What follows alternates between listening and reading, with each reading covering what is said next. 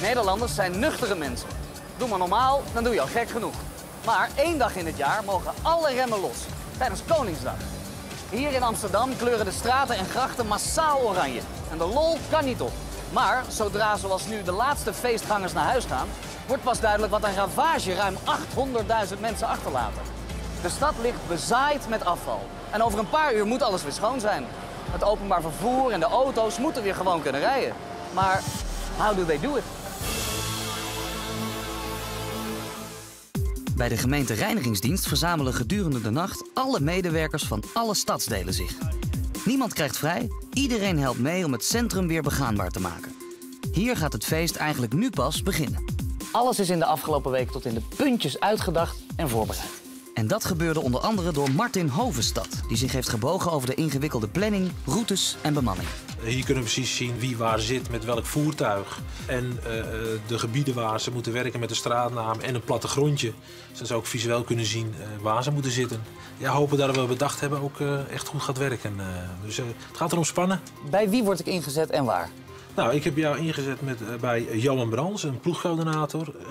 en dan begin je op de Rozengracht. Nou, dankjewel. Ik heb er heel veel zin in. Succes. dankjewel.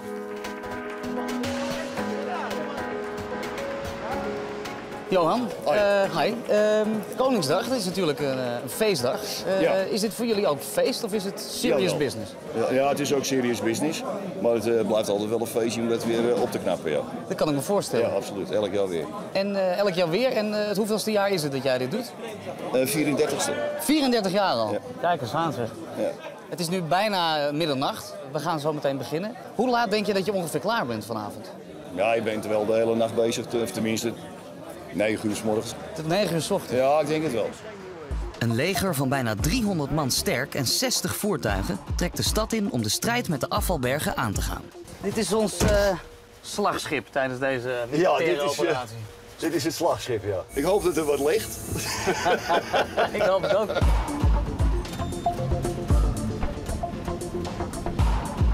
De grote vuilniswagens en grijpmachines gaan voorop. Zij legen de kliko's, laden vuilniszakken in en maken de weg vrij van achtergelaten bankstellen en ander grof vuil. Het afval dat op straat blijft liggen is voor de veegwagens. En maak je geen zorgen, dat is nog meer dan genoeg.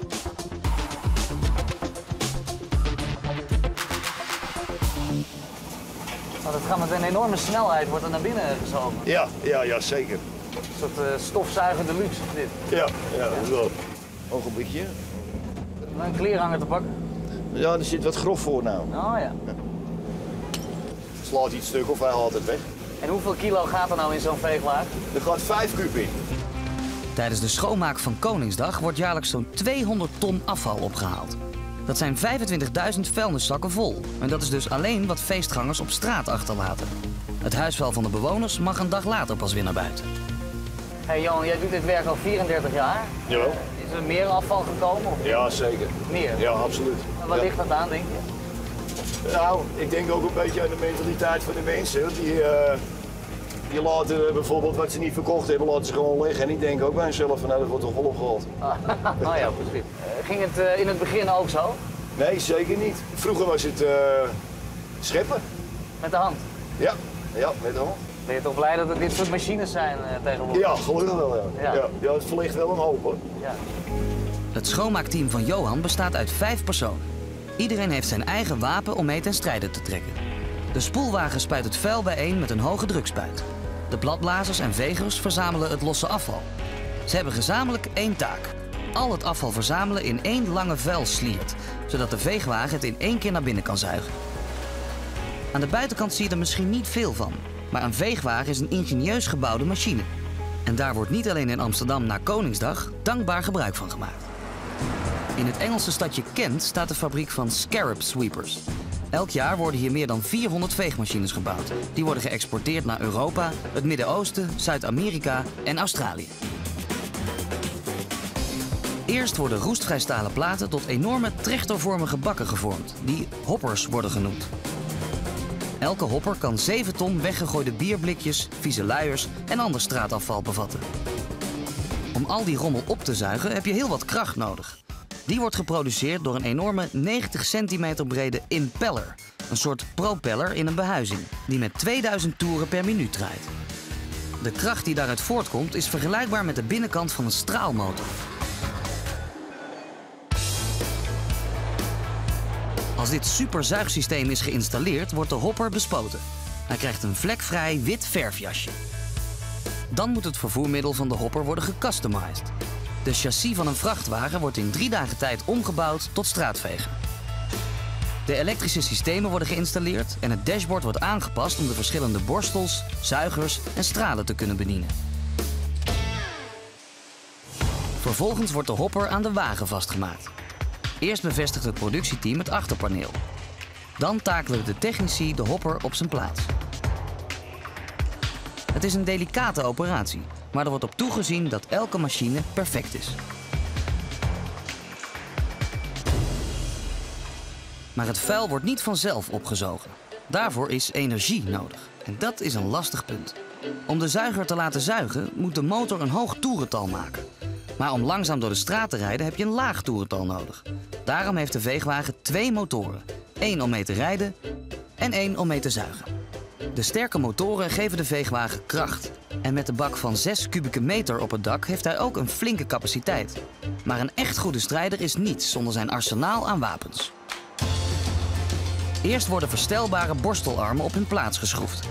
Ze worden aangedreven door krachtige hydraulische motoren en kunnen worden voorzien van verschillende metalen borstels om het vuil van de straat te schapen. Dan wordt een soort reusachtige pijpenragger aan de onderkant bevestigd. Deze borstel duwt met een draaiende beweging al het vuil naar de zuigmond, zodat niets ontsnapt. Hij scharniert in het midden om vuil naar links of rechts te dirigeren, afhankelijk van de kant van de straat die hij schoonmaakt. De borstels kunnen hun neerwaartse druk en snelheid aanpassen aan verschillende omgevingen. En deze gemene metalen borstels kunnen worden vervangen door nylon voor zachtere oppervlaktes, zoals kalksteen. Met een buis met een diameter van 25 centimeter in de ventilatorunit van de hopper is het superzuigsysteem bijna compleet. Want deze straatvuiltanks hebben nog één extra wapen om het helemaal af te maken. Water. Elf hoge druk waterstralen aan de voorkant spuiten al het vuil van de straten. Dat water moet ergens vandaan komen. En dus wordt een watertank van 1800 liter achter de cabine gehesen en vastgeschroefd. Deze schoonmaakmachine is klaar voor de strijd.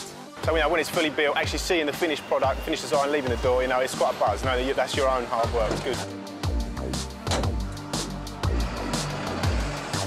Ik heb altijd al eens s'nachts in de regen afval bij elkaar willen vegen. Dus ik kan deze kans niet laten liggen. En zo moeilijk kan het niet zijn, toch? Zo. Mag ik even vegen? Als jij daar even bij de fiets een beetje schoonmaakt, Ja? komt alles goed. Oké, dankjewel. Nou, we gaan. Oh, troep. Wel zo gezellig dat er nog wat verdwaalde feestgangers om ons heen dansen, terwijl wij hun troep opruimen. Ik geef alles wat ik heb, maar het is echt vermoeiend. Dankjewel. Het is best zwaar werk. Ja, het is pittig. Nou, succes nog. Op normale dagen worden de veegwagens gelegd op een terrein buiten de stad. Maar om tijdens deze speciale schoonmaaknacht geen tijd te verliezen, liggen er vuilcontainerboten in de Singel, waar de veegwagens alleen vandaag hun afval in mogen storten.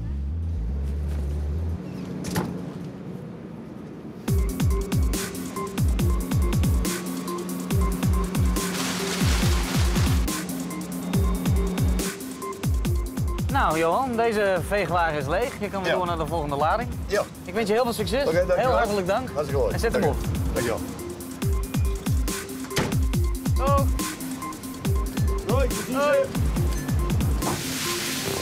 Tot in de vroege uurtjes wordt er keihard doorgebikkeld. Hoe groot of klein het afval ook is, de mannen van de reinigingsdienst komen overal.